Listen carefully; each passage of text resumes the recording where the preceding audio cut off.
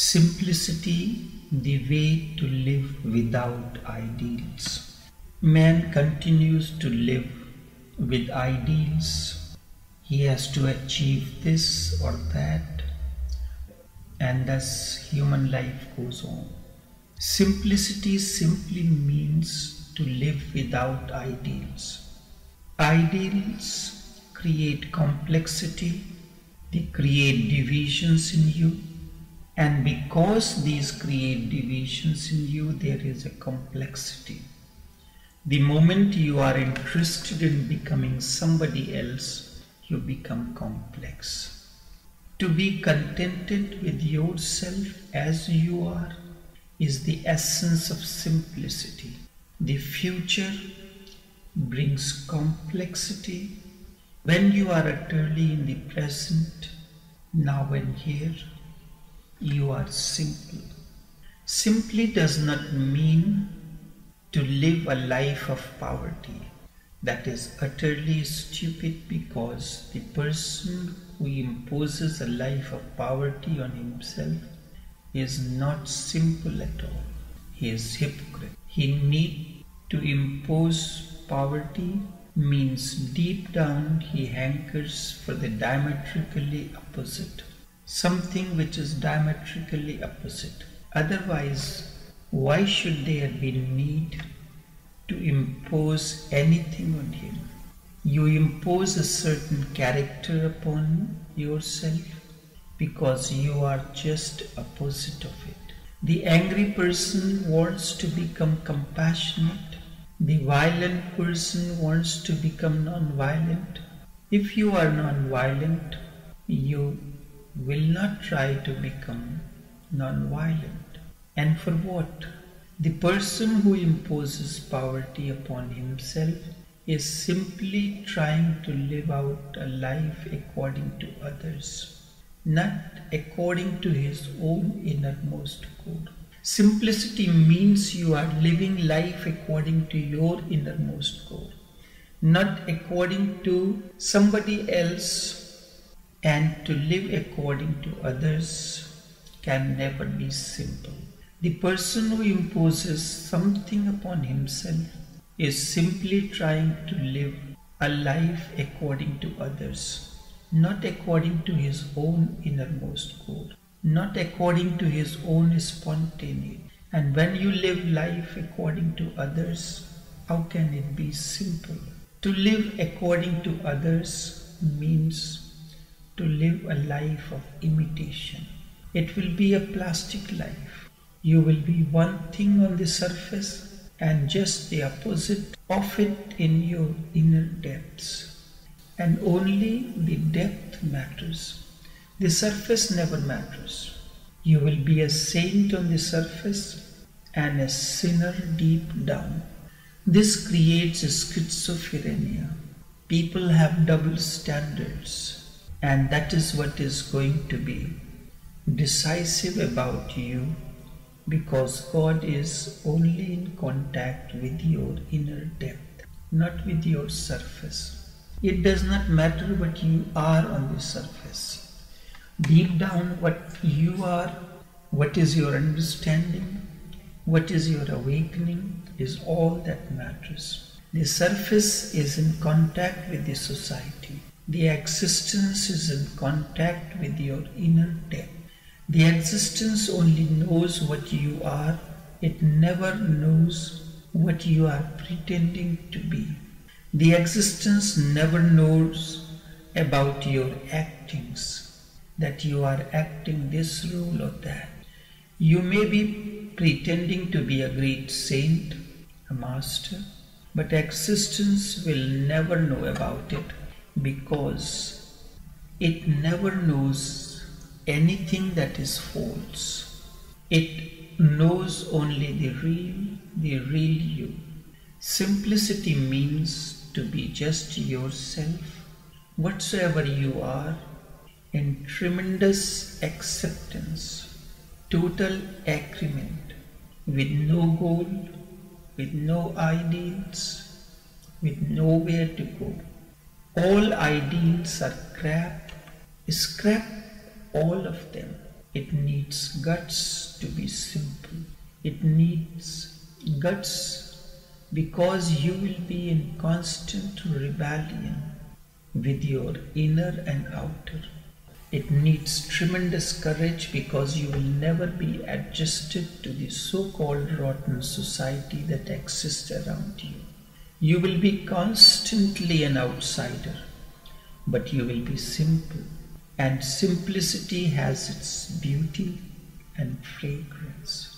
You will be utterly in harmony with yourself. There will be no conflict within you. There will be no split within you. No symptoms of schizophrenia. The ideals bring the split. The bigger the ideal, the bigger is going to be the split. The ideal means somewhere in future one day, maybe in this life or another, you will be a great saint or something else. Meanwhile, you are a sinner. It helps you to go on hoping. It helps you to go on believing in the surface that tomorrow everything will be okay. That tomorrow you will be as you should be. And today can be tolerated. You can ignore it. You need not take any notice of it either. The real thing is going to happen tomorrow. But tomorrow never comes. It always comes as today. It is always today. And the person who lives in ideals goes on missing the reality because reality is now here. To be now, to be here is to be simple. To be now, to be here is to be simple. And to be now and here is meditation. To be like trees here now, to be like clouds here now, to be like birds here now, to be like Buddhas here now, is the essence of simplicity. The ideal needs the future. Simplicity is not an ideal. People have made an ideal out of simplicity too, such as human stupidity and nature. Simplicity can never be an ideal because no ideal can create simplicity. It is the ideal which poisons you and makes you complex, divides you, makes two person out of you, the one that you are and the one that you would like to be. Now there is going to be a constant war, a civil war between what you are and what you want to be. And when you are fighting with yourself, the violent person is trying to be non-violent. The ugly person trying to be beautiful and so on and so forth.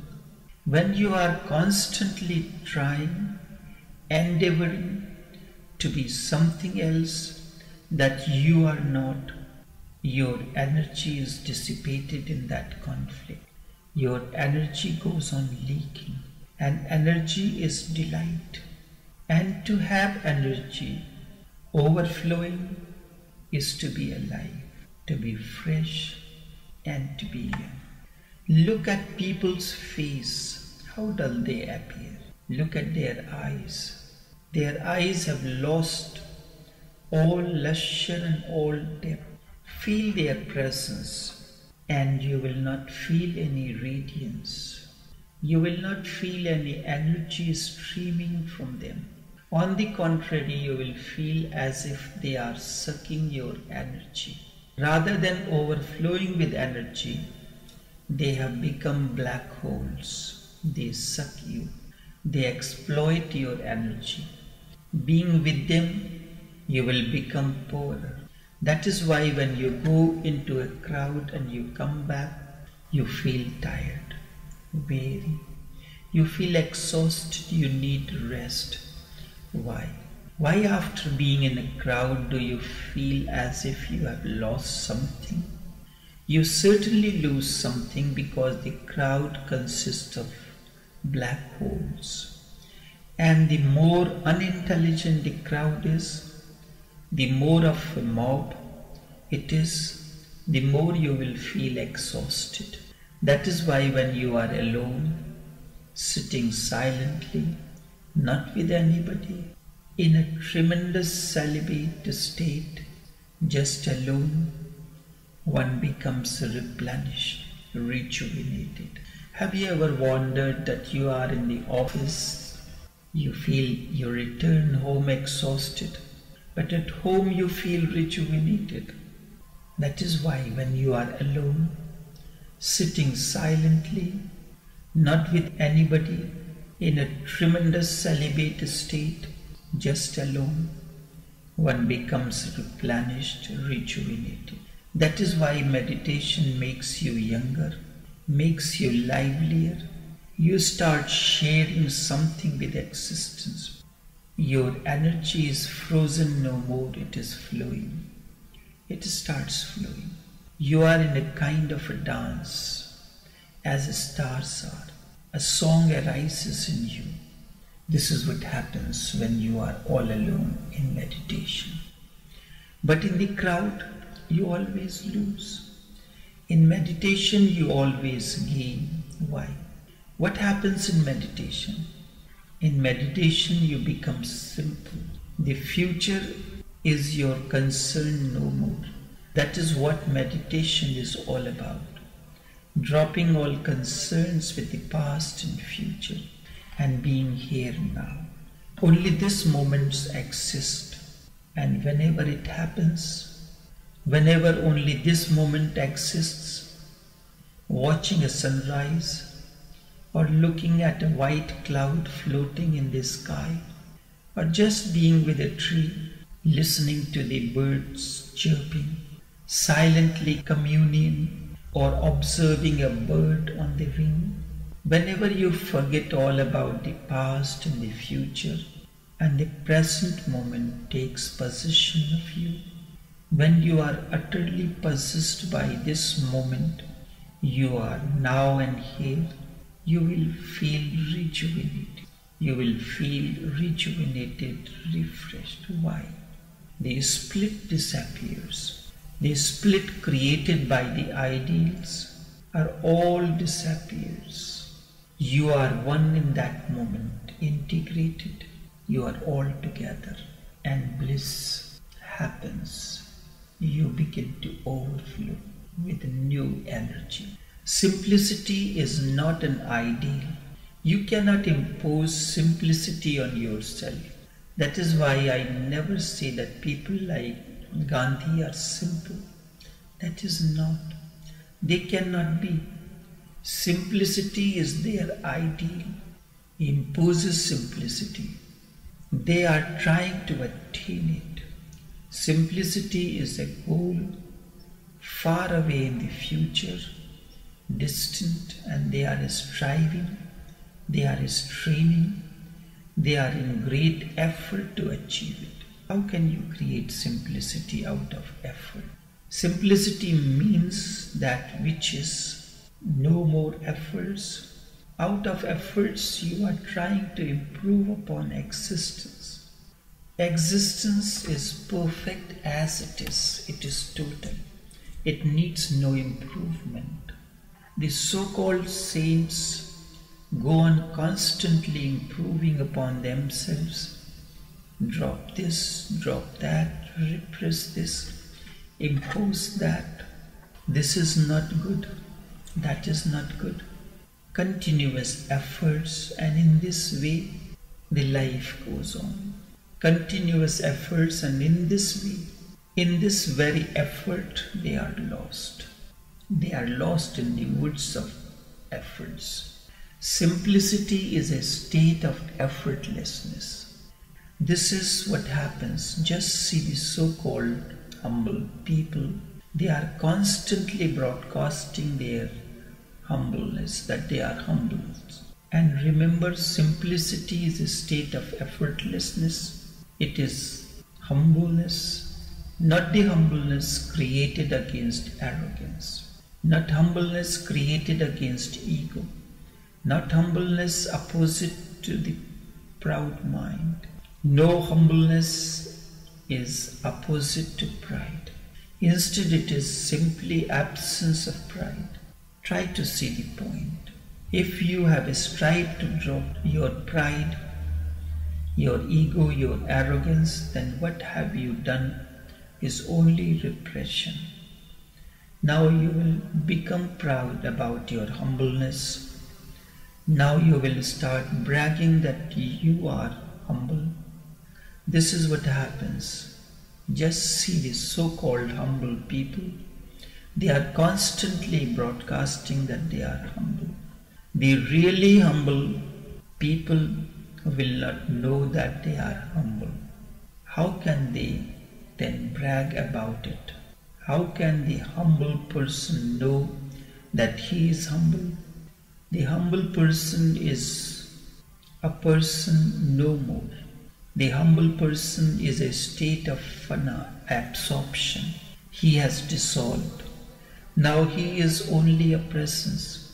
Indeed, humbleness is a presence, not a characteristic of personality, not a trait, but just a presence. Others will feel it, but you will not be able to feel it yourself.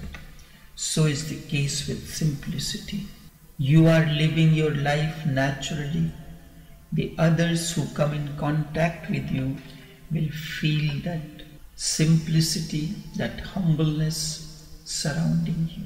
Simplicity simply means living moment to moment, spontaneously not according to some philosophy, not according to Jainism, Buddhism, Hinduism, Christianity, or Islam, not according to any philosophy. Whatever you live according to a philosophy, you have betrayed yourself. You are enemy to yourself. Simplicity means to be in a deep friendship with oneself, to live your life with no ideal, no idea interfering with you. It needs tremendous courage. Certainly, because you will be living constantly in insecurity. The man who lives with ideas is secure. He is predictable. That is, and this predictableness is his security. He knows what he is going to do tomorrow. He knows. He knows if a certain situation arises, this is the way he will react to it. Is always certain. The man who is simple knows nothing about tomorrow, knows nothing about the next moment, because he is not going to act out of his past. He will respond out of his present awareness. The simple person has no character. Only the complex person has character, good or bad. That is not the point. There are good characters and bad characters, and both of them are complex. The simple person is characterless, no character whatsoever. He is neither good nor bad, but he has a beauty which has no match he has a beauty which no good people, no bad people can ever have. And good and bad are not very different from one another. They are aspects of the same coin. The good person is bad behind it, and the bad person is good behind it. You will be surprised to know that saints always dream that they are committing sins. If you look into the dreams of your so called saints, you will be very much surprised. What kind of dreams do they go on having? That is their suppressed mind that bubbles up, surfaces into their dreams. Sinners always dream that they have become saints. Sinners have the most beautiful dreams because they have been committing sins their whole life. They are tired of all those things. Now the denied part starts speaking to them in their dreams. In dreams, The denied part speaks to you. Your unconscious speaks to you. The unconscious is the denied part. Remember, if you are good in your conscience, in your conscious state, if you have cultivated good characteristics in your conscious state, you will be bad. All that you have denied will become your unconscious and vice versa, and you will dream that. The simple person has nothing to hide. No unconscious, no conscious, there is no division. He is simply aware. His whole house, his whole innerness is full of light. His whole being knows only one thing, and that is awareness. He has not denied anything, hence, he has not created any split. And there is nothing unconscious in him. This is something to be understood. Sigmund Freud and Carl Gustav Jung and Alfred Adler and others think that the conscious and unconscious are something natural. They are not. The unconscious is a byproduct of civilization the more a person is civilized, the bigger an unconscious he has. Because civilization means you repress. You repress many things. Repression means you are denying a few parts of your being from coming into the light. You are pushing them into darkness. You are throwing them into your basement so that you never come across them again.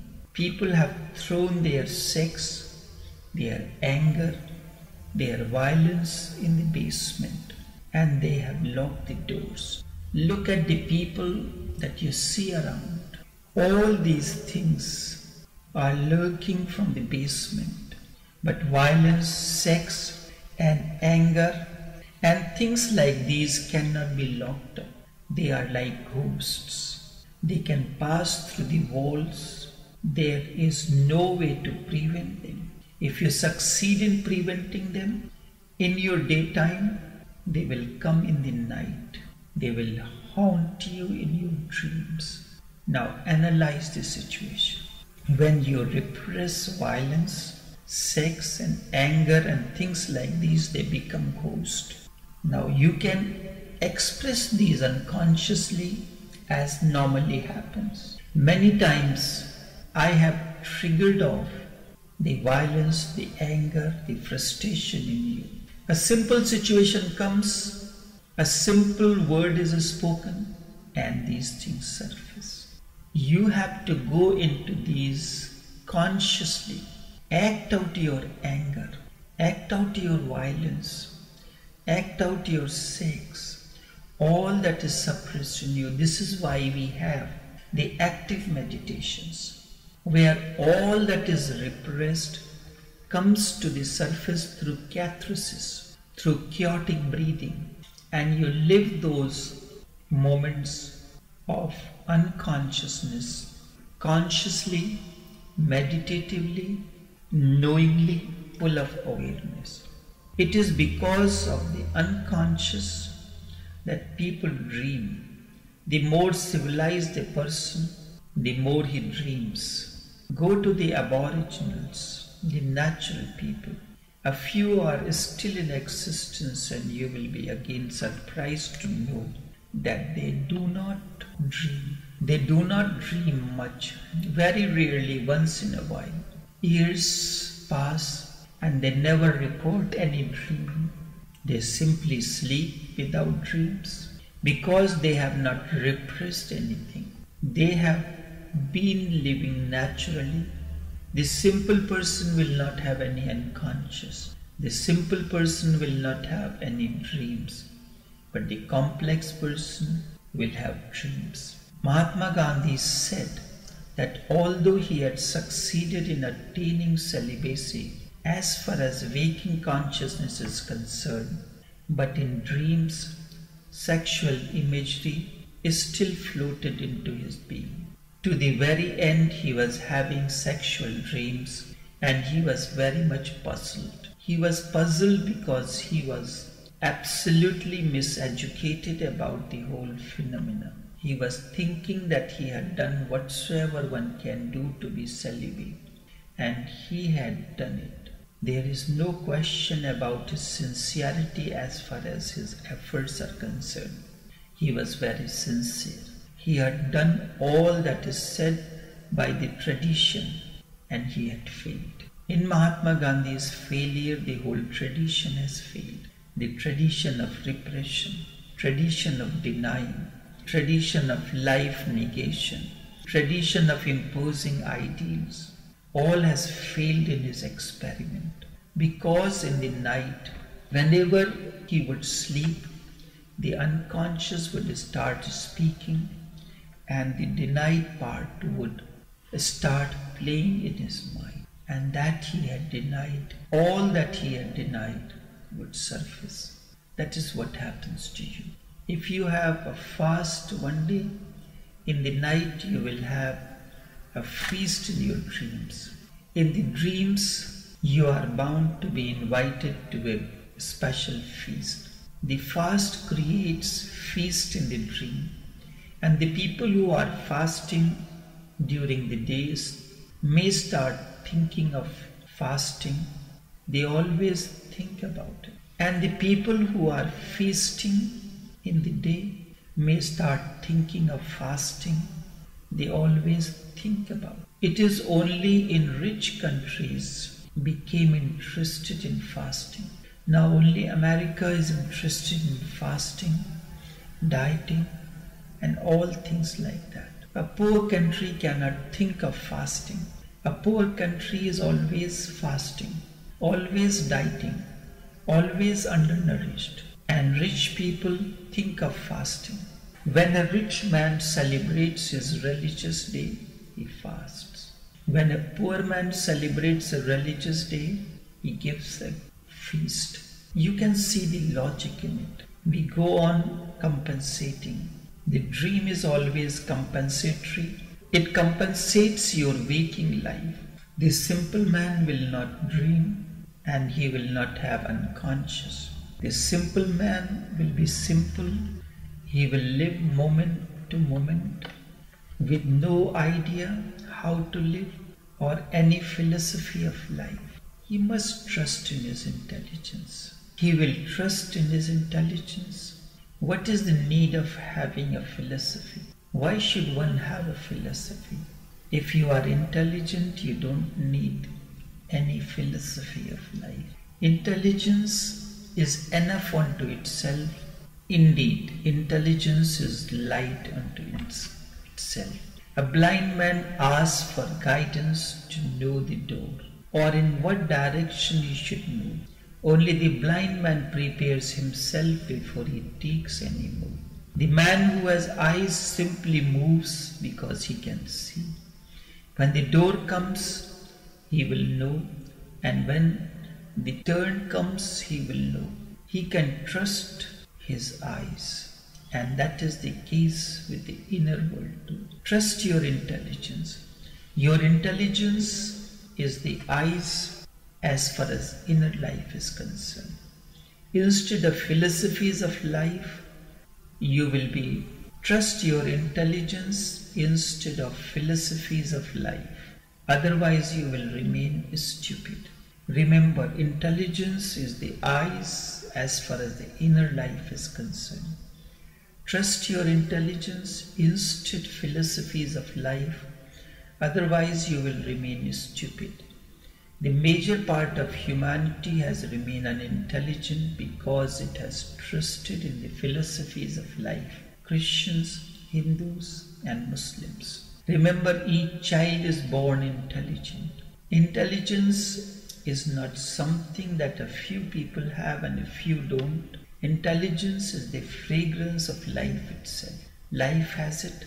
If you are alive, you are intelligent. And then if you never trust it, slowly and slowly it starts disappearing from your life. If you do not use your legs, you will lose the capacity to run. If you do not use your eyes for three years and remain with a blindfold, you will become blind. You can keep your senses alive only if you go on continuously using. Intelligence is a natural phenomenon. Every child is born intelligent.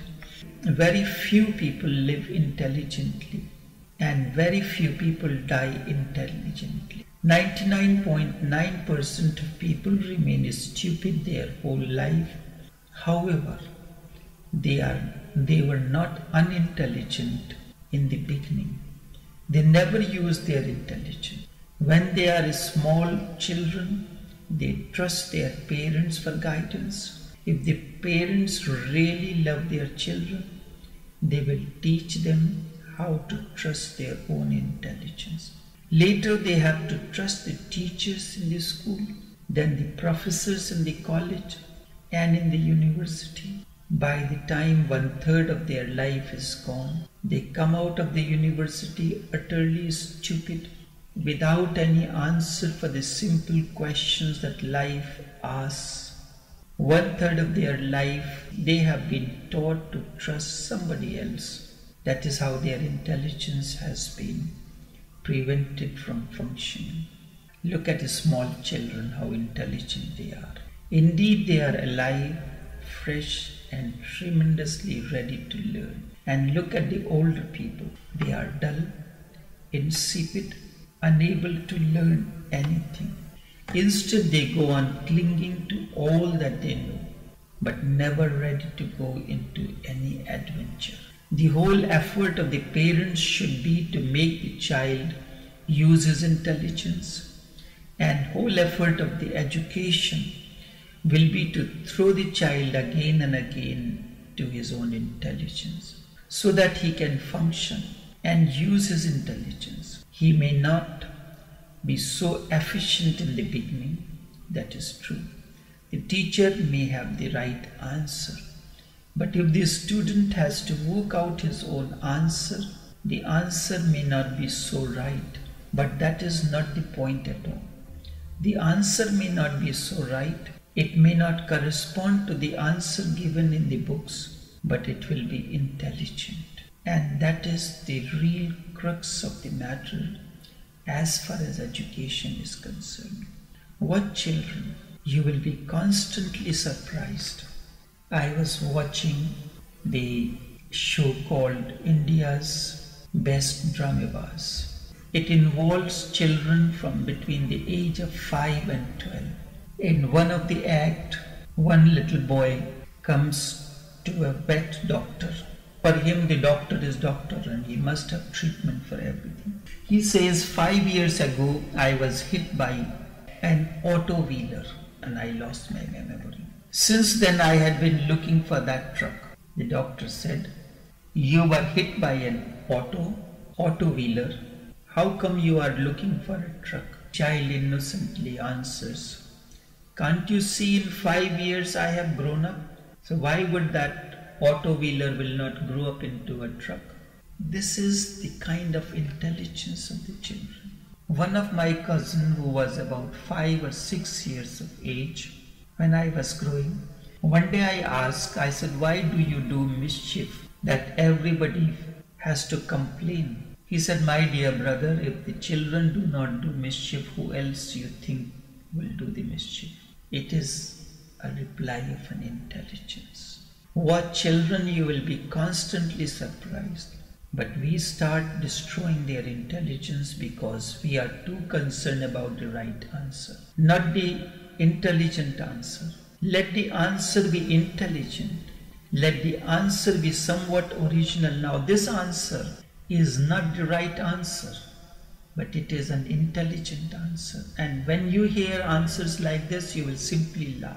But we do not encourage such intelligent answers in life. Let the answer be intelligent and let the answer be somewhat original and the child's own. Never be bothered about the right. There is no need to be in such a hurry. The right will come on its own. Let this child search for it. Let him stumble upon it on his own, and then one day he will discover. We simply cripple the child's growth of intelligence by supplying him with the right answer. The child is never allowed to find the answers himself. We give him the ready made answers. When the answer is given from outside, intelligence need not grow because intelligence only grows when it has to find the answer itself. But we are so obsessed with the idea of right that no wrong should ever be committed. And the person who never commits anything wrong can never grow.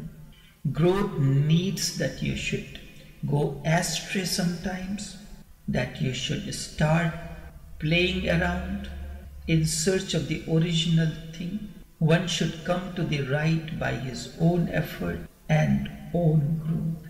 This is intelligence. To be simple means to be intelligent. Simplicity is intelligence.